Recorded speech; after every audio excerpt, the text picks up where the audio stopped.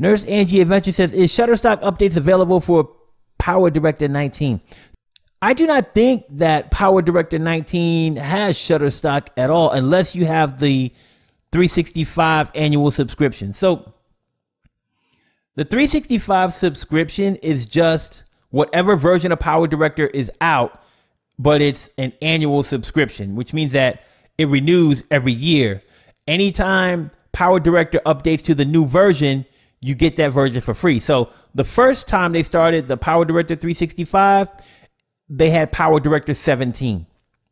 Right. So if you got the annual subscription, when Power Director 18 came out, as long as it was within that year, you got Power Director 18 and upgrade to that for free. Then if you kept your subscription for another year, whenever Power Director 19 came out, you got Power Director 19 upgraded on your machine for free. So Power Director 19 you can also buy as a standalone version. So if you don't want a subscription, you could buy any version or the at least the current version of Power Director from the Cyberlink website as a standalone without a subscription. So if you have Power Director 19 without the subscription, I don't think you have Shutterstock at all. You have to have the 365 subscription version of Power Director 19 to have Shutterstock. That's my understanding. Evan says, looking at a new laptop, please recommend specs. So I will tell you that I don't really say like there's a specific specs that you need to get. I do overkill. That's that's just me. I do overkill so that I can do as many things as possible on my machine. Um, and in every one of my videos, there's a link that has my uh, the list of my computer specs on it, and also um, there's also a link to a store where you can get all of the stuff using my Amazon code if you want any of that stuff.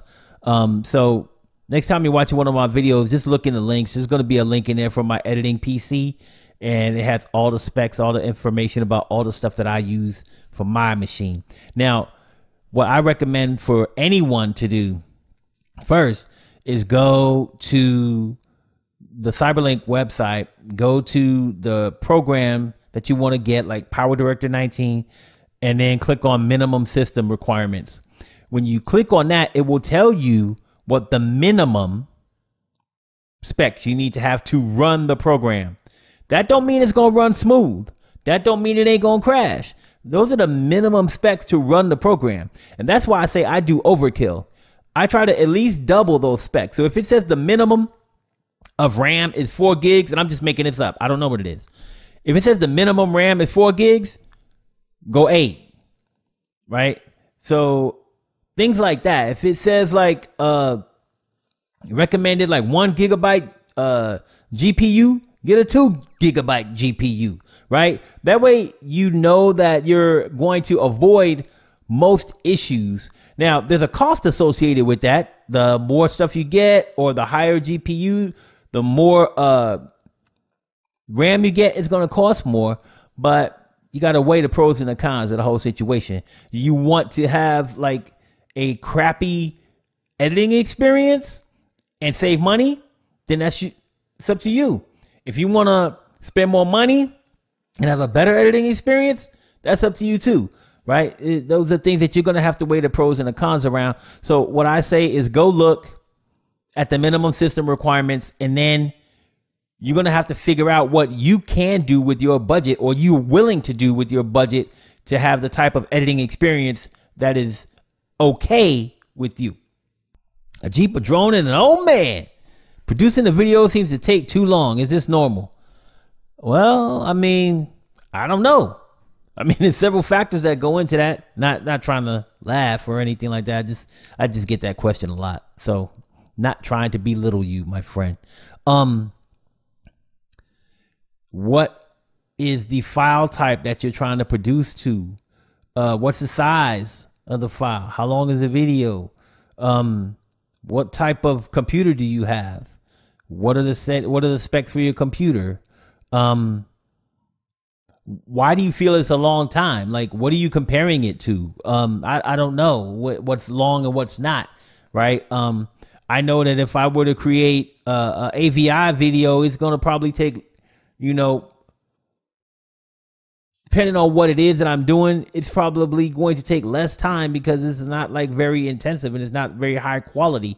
But if I'm creating something that I have a high quality preset or like a custom preset with a high bit rate and um, color sampling, it's going to take longer. That's just part of what it is. Depends on what you're doing. It's not really any, hey, every time I do a video, it's going to be this fast. Depends on what you're doing and what you're using, what your settings are what your quality is, uh, what type of codec you're using. There's all types of things that go into how long it's going to take for your video to render. It's not just a uh, every video does this or every video does that. The Shoop said, Why did you choose to be an expert on Power Director over Adobe Premiere? I have never used Adobe, always Cyberlink, but curious why so many people do Adobe. Well, let me say this. I do know how to use Adobe, and I have used it uh, for a very long time. I still actually use like Adobe After Effects sometimes, not really a lot. Um, I use Adobe Photoshop for most of my um, thumbnails, almost the majority of the time. Um, so I do use those products. I just don't. I myself found that I was able to first and foremost create things faster with Cyberlink. Um, I think that it's just easier to use. It's just my experience. Some people might think that Adobe Premiere Pro is easier to use. I mean, everybody's got their own different opinion, just like everything that's going on in the world today about you can talk about COVID and everybody on this chat probably got a different opinion about COVID-19. You know, it is what it is. So it's really about preference. I prefer Power Director because I like the interface better. I think it's simpler. I think it's faster. Um, those are the things that I like about it. Um, Adobe Premiere, I think that the reason why a lot of people use it, um, there's multiple reasons. Uh, some people just use it because they think that's the best and that's what they're supposed to use the best. Um, to me, if there was, this is my opinion, if there was a best software for editing, everybody would be using the same thing. I mean, cost would be the only different, the only factor that would make people use different things. Um, but otherwise, everybody would be using the same editor, and everybody doesn't use Adobe Premiere Pro. There's all types of programs out there that people use.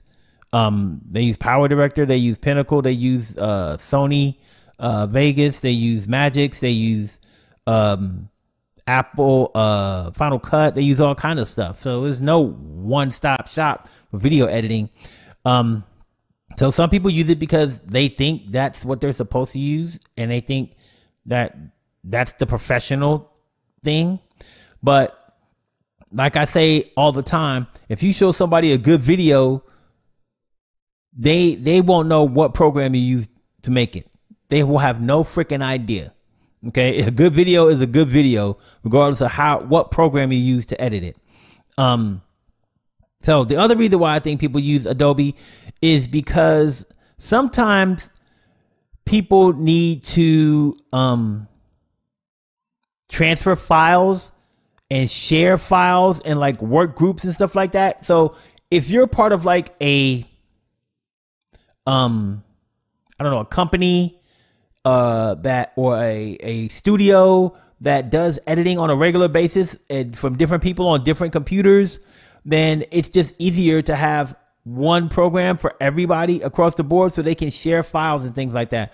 Also, because other people in the industry, a lot of people in the industry do use Adobe Premiere Pro, people feel like they have to use it too because if they don't use it, then they won't be able to share files with those other people in the industry. So I think part of it is created because of that, the need to be able to work in groups and share files between uh, different organizations or different people causes a lot of people to feel like, hey, I got to have Premiere Pro for that. Now, I would even tell you if um someone wanted you to deliver something in a specific file like XML, you can't do an XML file using Power Director.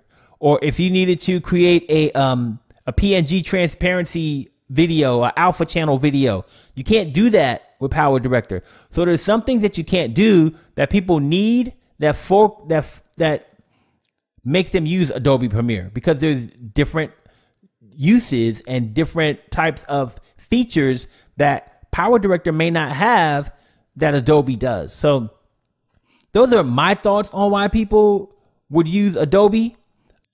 Dwayne Collins says, Why does Cyberlink give you a free version, then have their watermark planted on your production video? Because they want you to buy it.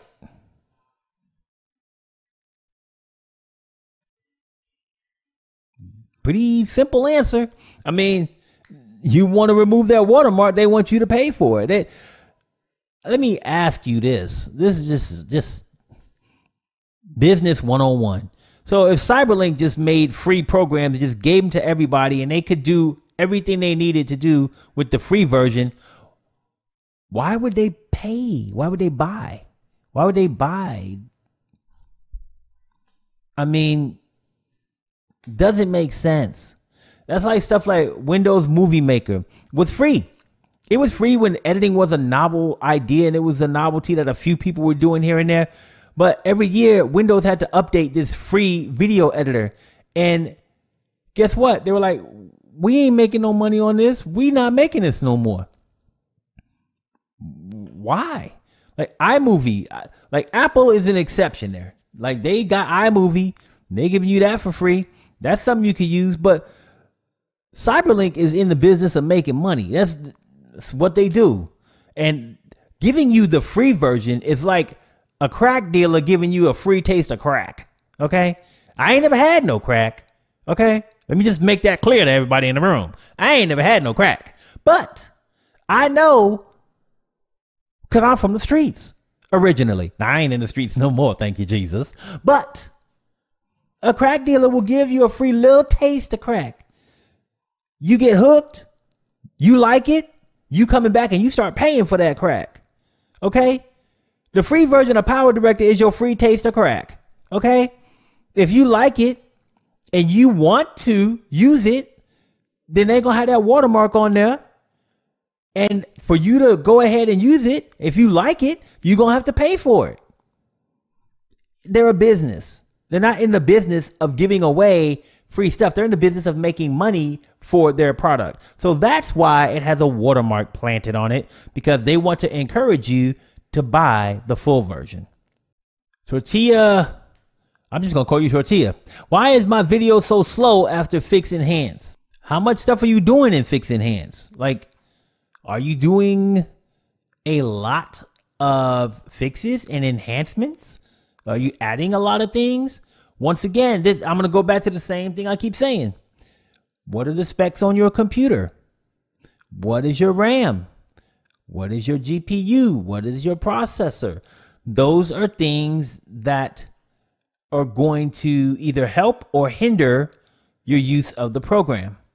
If you have uh, low specs on your machine, then your editing will struggle based on how much you put on top of it. Every time you add an edit, add a transition, add a filter, add a LUT, make an adjustment to the color, all of those things take processing power to do. The lower the specs on your machine, the less you're going to be able to do, and things are going to slow down. So that's just that's not even really anything about Power Director. That's just using a computer. Like the more you do, the more strain you put on your machine. So once again, uh, I don't know how long you've been on the chat, but earlier we talked about going to the Cyberlink website and looking at the minimum system specs for Power Director and really doubling those. You need to have at least double what the minimum system specs are to have a, a smooth editing experience, in my opinion.